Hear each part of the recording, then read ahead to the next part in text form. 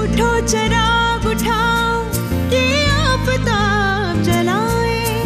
जरा कदम तो उठाओ, कि एक बनाए।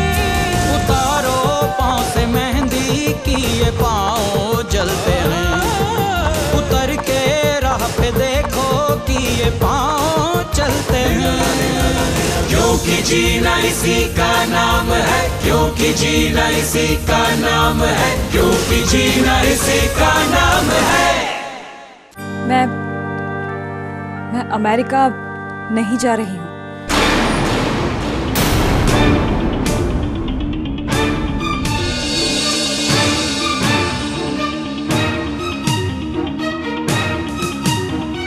ओ लाला त्रिखा तो ये पार्टी क्यों? कोई मज़ाक हो रहा है सब कोई प्रॉब्लम है सावी?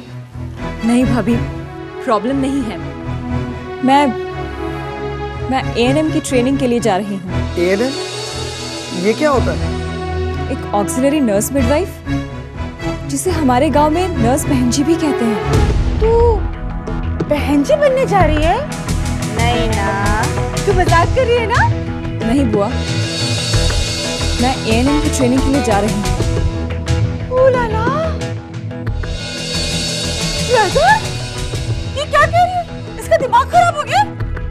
हाँ कल्याणी बिल्कुल ठीक कह रही है। शायद इस तरह के लोगों का दिमाग किसी और मिट्टी का बना होता है।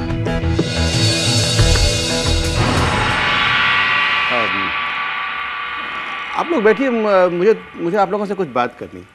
Please please relax.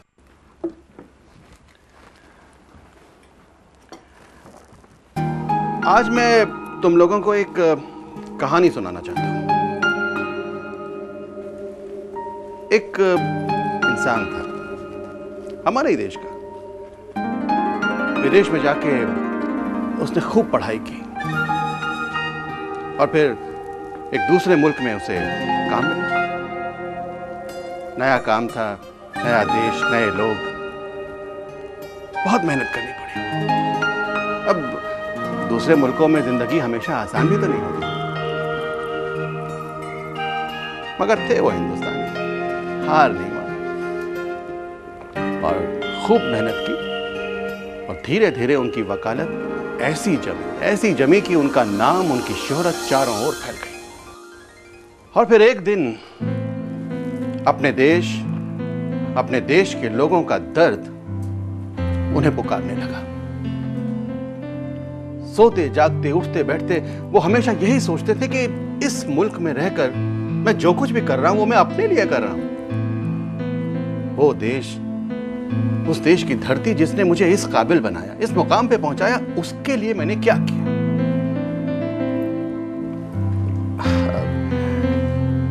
कल्याणी, तुम्हारे हिसाब से उन्होंने क्या किया करना क्या है? खूब पैसा बनाया होगा। और कुछ देश के लिए दान डोनेशन भेज दिया होगा। हम्म, नहीं।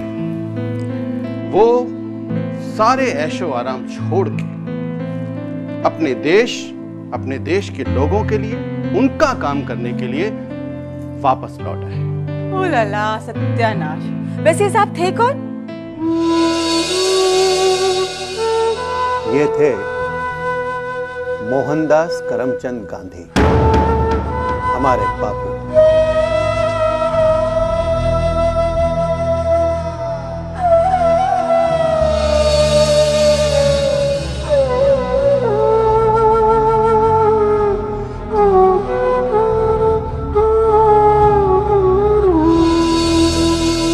जिन्होंने हमारे देश में एक ऐसी आंधी, ऐसी क्रांति पैदा की, जिसने बरसों की गुलामी से हमारे देश को आज़ाद कर अगर वो सिर्फ़ अपने बारे में सोचते अपना नाम अपना काम अपनी इज़्ज़त अपनी शोहरत तो वो इस देश को कभी भी आज़ादी नहीं दिलवा पाते।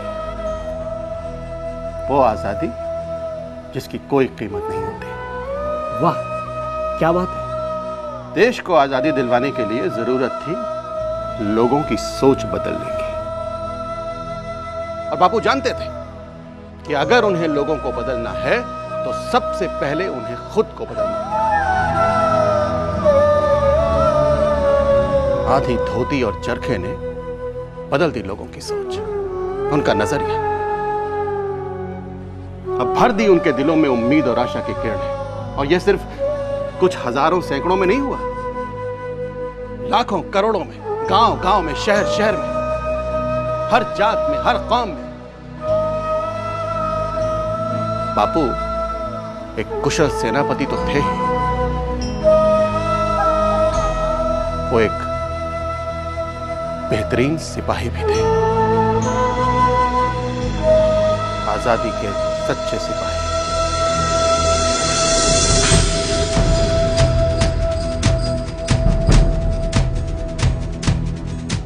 सही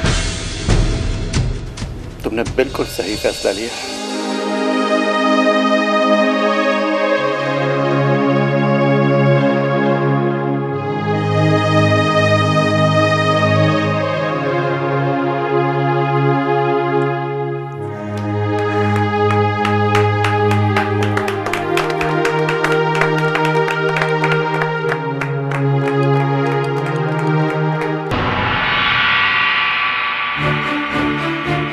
मधु प्लीज़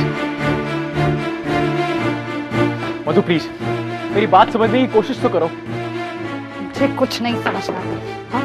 तुम्हारे सामने तुम्हारी फैमिली मेरी बेइज्जती कर रही थी राइट और तुम वहाँ पर मधु वो सब गाँव में रहने वाले लोग हैं। शहर के तौर तरीके नहीं समझते हो क्या? और वो शायद ये भी नहीं जानते कि तुम शहर में अपना नया बिज़नेस शुरू करना चाहते हो। बिना मेरे पैसे दिए शुरू नहीं हो सकता। रिमेंबर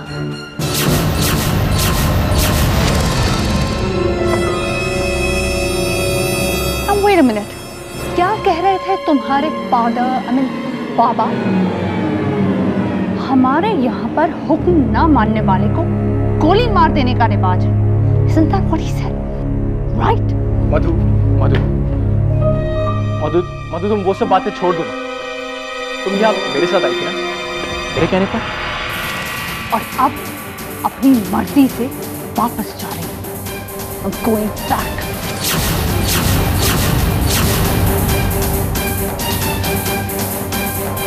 Madhu please Oh, तुम मिस वाइफ धर्म पत्नी जी। गुड मत जाइए। आप हमारे मेहमान हैं। आप इस तरह जाएँगी तो बुरा लगेगा। मधु अब तो रुक जाओ। प्लीज़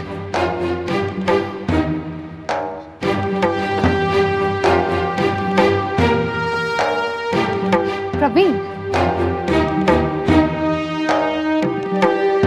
मैं तुम्हारी तरह अपने फैसले नहीं बदलती।